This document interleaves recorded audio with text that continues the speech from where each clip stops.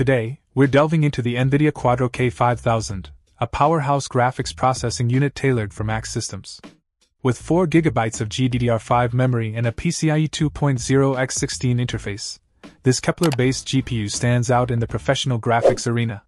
Its NVIDIA Quadro K5000 graphics coprocessor ensures top tier performance, whether you're rendering complex 3D models or editing high resolution video projects. The generous 4GB of GDDR5 RAM provides ample space for handling large datasets and multitasking with ease. The video output interface primarily features DVI connectivity, ensuring compatibility with a wide range of monitors and displays.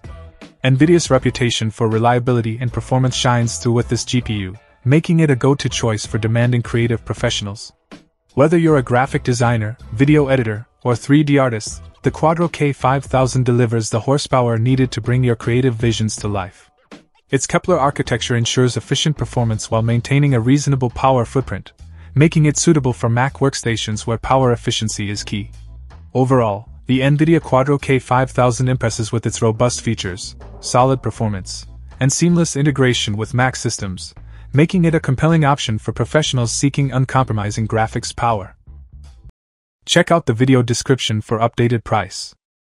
And thank you for watching this video.